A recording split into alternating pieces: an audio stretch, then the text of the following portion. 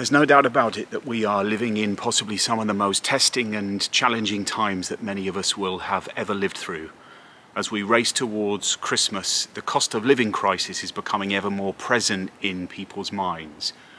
People are spending their money with greater discernment and thoughtfulness and consciousness.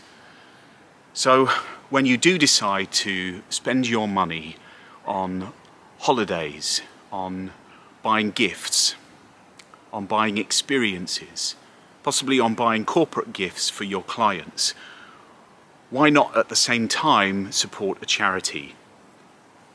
Maggie's Centres have done some research in the UK in the last few months that showed that one in four people living with cancer are more concerned about the rising cost of living than they are about their own diagnosis.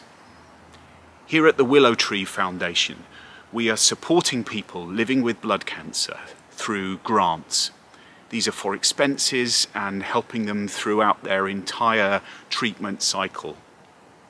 We're also on a mission to build a healing sanctuary, a place where people can come and get free, integrative healthcare that helps them in their own cancer treatment.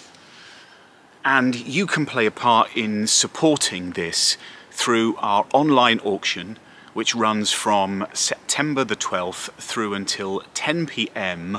on September the 24th.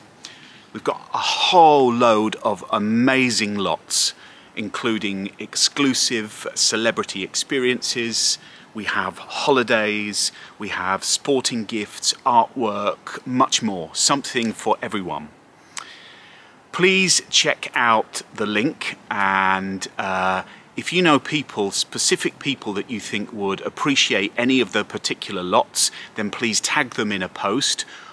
Or can I ask that you share it with your network? The more people we get this in front of, the more money we raise, the more people we can support and hopefully make their cancer treatment and journey to recovery just that tiny bit easier. Thank you for your time. By doing this, this isn't just a good experience for yourself. You are, in that moment, helping people live a better quality of life. Thank you.